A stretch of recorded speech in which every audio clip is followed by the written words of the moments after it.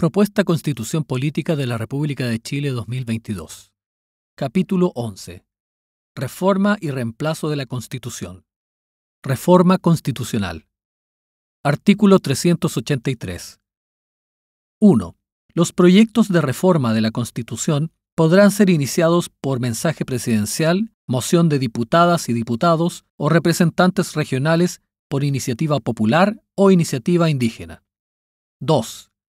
Para su aprobación, el proyecto de reforma necesitará del voto conforme de las cuatro séptimas partes de integrantes en ejercicio del Congreso de Diputadas y Diputados y de la Cámara de las Regiones. 3. Los proyectos de reforma constitucional iniciados por la ciudadanía deberán contar con el patrocinio en los términos señalados en la Constitución. 4. Todo proyecto de reforma constitucional deberá señalar expresamente de qué forma se agrega, modifica, reemplaza o deroga una norma de la Constitución. 5.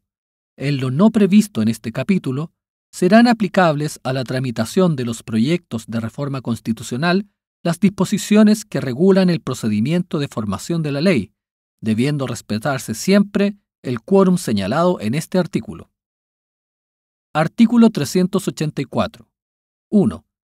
La presidenta o el presidente de la República deberá convocar a referéndum ratificatorio tratándose de proyectos de reforma constitucional aprobados por el Congreso de Diputadas y Diputados y la Cámara de las Regiones que alteren sustancialmente el régimen político y el período presidencial, el diseño del Congreso de Diputadas y Diputados o de la Cámara de las Regiones y la duración de sus integrantes, la forma de Estado regional, los principios y los derechos fundamentales y el capítulo de reforma y reemplazo de la Constitución.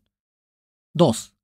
Si el proyecto de reforma constitucional es aprobado por dos tercios de diputadas y diputados y representantes regionales en ejercicio, no será sometido a referéndum ratificatorio. 3. El referéndum se realizará en la forma en que establezcan la Constitución y la ley. 4.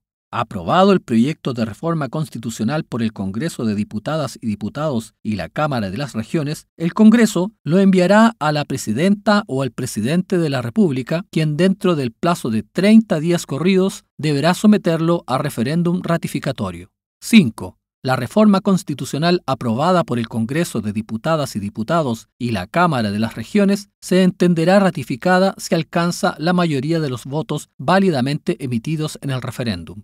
6. Es deber del Estado dar adecuada publicidad a la propuesta de reforma que se someterá a referéndum de acuerdo con la Constitución y la ley. Artículo 385. 1. Un mínimo equivalente al 10% de la ciudadanía correspondiente al último padrón electoral podrá presentar una propuesta de reforma constitucional para ser votada mediante referéndum nacional conjuntamente con la próxima elección. 2 existirá un plazo de 180 días desde su registro para que la propuesta sea conocida por la ciudadanía y pueda reunir los patrocinios exigidos. 3. La propuesta de reforma constitucional se entenderá aprobada si alcanza la mayoría en la votación respectiva. 4. Es deber del Poder Legislativo y de los órganos del Estado que correspondan dar adecuada publicidad a la o las propuestas de reforma que se someterán a referéndum. Procedimiento para elaborar una nueva constitución. Artículo 386. 1. El reemplazo total de la Constitución solo podrá realizarse a través de una asamblea constituyente convocada por medio de un referéndum. 2. El referéndum constituyente podrá ser convocado por iniciativa popular. Un grupo de personas con derecho a sufragio deberá patrocinar la convocatoria con, a lo menos, firmas correspondientes al 25% del padrón electoral que haya sido establecido para la última elección. 3. También corresponderá a la presidenta o al presidente de la República, por medio de un decreto, convocar al referéndum, el que deberá contar con la aprobación en sesión conjunta del Congreso de Diputadas y Diputados y la Cámara de las Regiones por tres quintos de sus integrantes en ejercicio. 4. Asimismo, la convocatoria corresponderá al Congreso de Diputadas y Diputados y la Cámara de las Regiones en sesión conjunta por medio de una ley aprobada por los dos tercios de sus integrantes en ejercicio. 5. La convocatoria para la instalación de la Asamblea Constituyente será aprobada si en el referéndum es votada favorablemente por la mayoría de los votos válidamente emitidos. Artículo 387. 1. La Asamblea Constituyente tendrá como única función la redacción de una propuesta de una nueva constitución. Estará integrada paritariamente y con equidad territorial, con participación en igualdad de condiciones entre independientes e integrantes de partidos políticos, con escaños reservados para pueblos y naciones indígenas. 2. Una ley regulará su integración, el sistema de elección, su duración, que no será inferior a 18 meses, su organización mínima, los mecanismos de participación popular y consulta indígena del proceso y demás aspectos generales que permitan su instalación y funcionamiento regular. 3.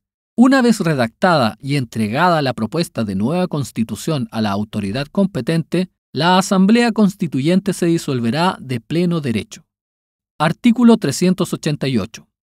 1. Entregada la propuesta de nueva constitución, deberá convocarse a un referéndum para su aprobación o rechazo. Para que la propuesta sea aprobada, deberá obtener el voto favorable de más de la mitad de los sufragios válidamente emitidos. 2. Si la propuesta de nueva constitución fuera aprobada en el plebiscito, se procederá a su promulgación y correspondiente publicación.